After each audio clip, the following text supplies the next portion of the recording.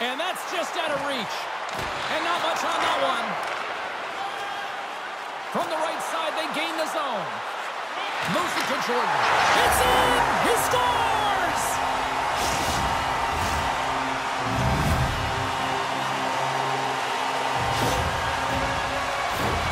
I love this snapshot from in tight, James, that beats the goaltender. But how about the will to get to those tough areas? I mean, that's what it's all about.